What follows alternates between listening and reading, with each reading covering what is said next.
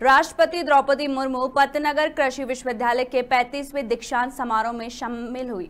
इस दौरान राज्यपाल, केंद्रीय मंत्री और कृषि मंत्री भी मौजूद रहे।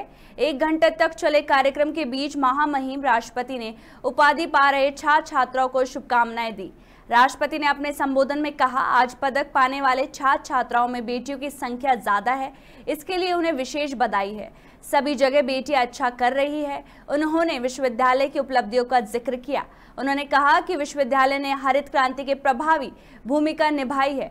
नई प्रजातियों, दहलन, उत्पादन में क्रांति लाएगी। उन्होंने कृषि ड्रोन विकसित करने पर विश्वविद्यालय को बधाई दी है। उन्होंने पदनगर के आलू के पराठे और फत्तू के समोसे का भी ज़िक्र किया। उद्यम सिंह नगर से मुकेश मंडल की रिपोर्ट।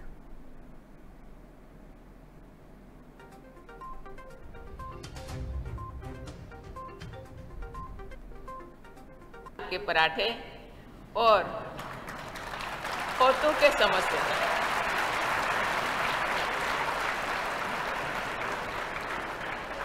आलू के पराठे और फोतू के समोसे खाने तो आप यहाँ आएँगे ही ज़रूर। आते रहेंगे।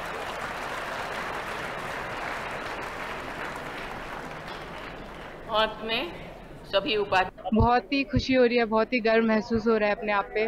चार साल की मेहनत थी, वो आज जाके सफल हुई है, बहुत अच्छा लग रहा है। मेन तो मेरा है कि अगर डिफेंस में हो तो मैं डिफेंस में अपना आगे देखना चाहूँगी।